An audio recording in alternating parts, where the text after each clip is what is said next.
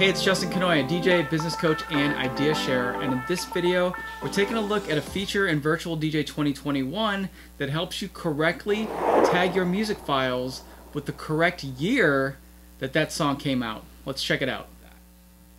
Let's say you're doing a high school reunion, or maybe you're even doing a wedding, and the couple graduated from high school in 2002. Or you're doing a high school reunion for the class of 1995. Wouldn't it be really great if you could pull songs from that specific year? It'd be so much easier. I decided at some point I needed to really dig in and properly tag these years, but just knowing it was going to take a long time. And then enters this brand new feature in Virtual DJ 21 in build 6106 that specifically says in the browser file info tab, the year is clickable to look up from Discogs when empty, and last played play count clickable to look up song in playlist and history. Now, it's also interesting. This will uh, also fill out the album and the genre fields if they're blank as well. So let me just show you how that works. I'm going to open this tag editor for the Martin Page song and again, as long as the fields are empty, uh, Discogs will pull, or will I guess will send the data to Virtual DJ and update everything properly, assuming that everything kind of works out right. So I'm to kind of start over. I'm to delete the genre field. I'm to delete the year. Okay, so I hit OK, and now we can see that I have album empty, genre empty, and year is empty. So let's do this again. Right click on the year, field, fill missing info from Discogs, and there we go. However, we can see that they did not correctly fill out the genre field, which is fine. Uh, I'm going to go just change this to pop. And then we're done. All right, now what about if you need to sort of batch process a ton of stuff? Well, I've got to do that. Unfortunately, there isn't just like a right click and, you know, change them all. You're still going to have to individually click on everything, but there is a way to at least clear the year field out of all these. So I've selected these five songs. Um, I'm going to right click and go to tag editor. Now this is, if you've never done this, is what it looks like when you're doing uh, batch tagging.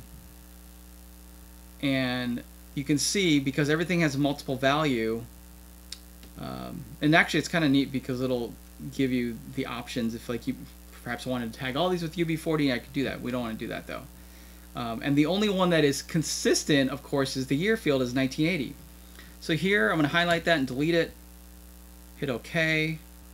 Okay, so now the year field is cleared from that, and we can start clicking on here. So let's just see how well this works. 1986. All right. Edie Brickell. 1988, alright. Rock Me Amadeus, another 80s song, good. It's working. UB40, 19. Did that song really come out in 83? I'm not sure. Okay. And that's all. Great Genesis song.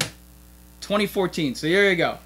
Again, a lot of this is going to be um, a little bit of a crapshoot. You can see at least the first few worked, um, others did not. And so these, I'm just going to have to kind of come up with some kind of a system to sort of set them to the side. Maybe I'll throw them in the side list um, to, to, to research later.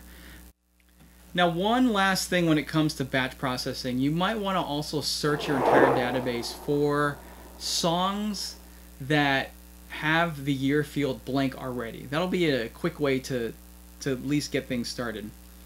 Um, and so the best way to do that is to just set up a filter folder to show you all songs in the database that have the year field blank. And I'm going to show you how to do that right now. So we're going to click on create a filter folder. And let's just call this blank year. And your filter is going to be year equals zero. And this is the database. And so now you can see right here all of these tracks, and this is embarrassing almost, 4,400 tracks don't have the year. There are some samples in here. I will at least give myself some credit there. Look at all these samples. That's fine. They don't need a year. Um, there's a lot in here. Well, I've got my work cut out for me, so I'm going to go ahead and end this video right now. Be sure to subscribe, hit the bell so you're notified every time I post a new video. Thank you so much for watching. I'm DJ Justin Kanoya, and I'll see you next time online.